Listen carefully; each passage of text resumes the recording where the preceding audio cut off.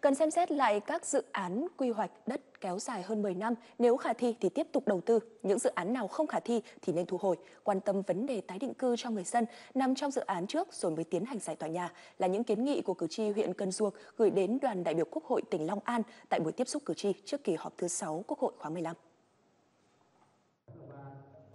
Sáng nay thì tôi đang có mặt tại buổi tiếp xúc cử tri của đoàn đại biểu Quốc hội tỉnh Long An và hiện nay thì có hơn 130 cử tri trên địa bàn ba xã của huyện Cần Duộc đang tham dự buổi tiếp xúc.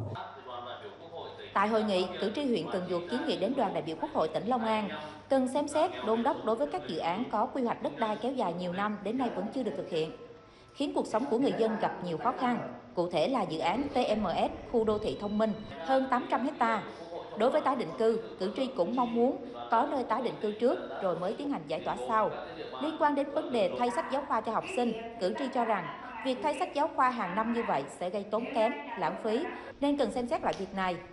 Ngoài ra, trong thời gian qua, tình trạng lừa đảo qua mạng xã hội, qua điện thoại diễn ra ngày càng nhiều. Cử tri huyện Cần Duộc kiến nghị các cơ quan chức năng cần sớm có biện pháp xử lý triệt để, đồng thời xử lý các trường hợp lợi dụng mạng xã hội để xúc phạm cá nhân, tổ chức, đảng và nhà nước.